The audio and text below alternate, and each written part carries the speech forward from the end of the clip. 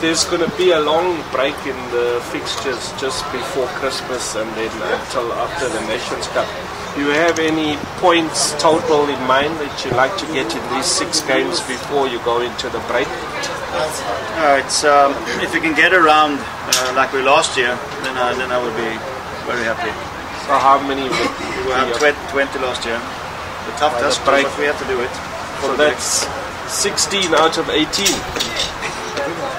Because you've got how many at the moment? Uh, no, you've got eight. So you need another 12. uh, 12 out of a possible 18 to give you 20. uh, Around there will be a bit say for Then it's a quite good season. Even though we struggled enormously now initially of the season. Coach, you've lost uh, Dulee Johnson for discipline reasons. You feel he let you down? Excuse me? The midfielder from Yes. Liberia.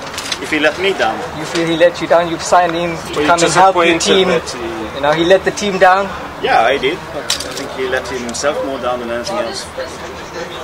Did you have no idea of his drug problem before No, you came never, here? never, never heard. No, I never heard. Is it We, no. So never the heard, agent never, offered never heard, him and- is it never heard a drug problem. He had some problems on the side. We know that. Yes, yes. He was a very, very good player. Right. in the league in Sweden, and he was get contract with the other strong teams. Yes, yes. I mean, on his CV, he's one of the or the best player we ever had in Amazulu. And he was still a very good player. He's coming up more, but Yes, yes. with having that kind of problem, there's no excuse. So you're going to look for one more player to replace him or? No, we're not sure yet. We are. Sure. No. Yes, yes. What has his agent said? Has he like apologized or No, he anything like apologized that? and he's shocked as well.